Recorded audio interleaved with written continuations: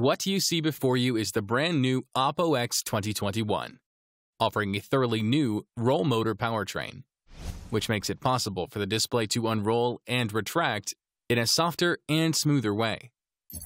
Two drive motors built into the handset generate a constant force output that is used to retract and extend the display.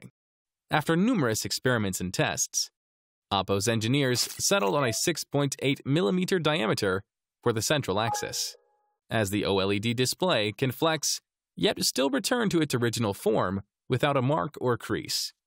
The display moves along this central axis, and the slider ensures it follows a smooth arc. Oppo developed the innovative 2-in-1 plate display support technology to support the screen and stop it from collapsing inward. When the display is retracted, the two support substrates come closer together to form a single surface. And when it is unrolled, one substrate slides out to support the display. The left and right substrates support unrolled display with zero segment gap, keeping it smooth. The increase in the overall thickness of the display affects the degree to which it can bend. To tackle this challenge, Oppo is using its proprietary WarpTrack high-strength screen laminate, which is built using very high-strength steel as the main material.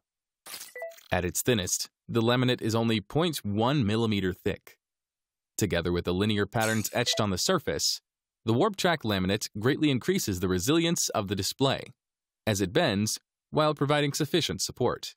Compared with foldable displays with fixed sizes, rollable displays open up more possibilities for productivity, entertainment, and daily use.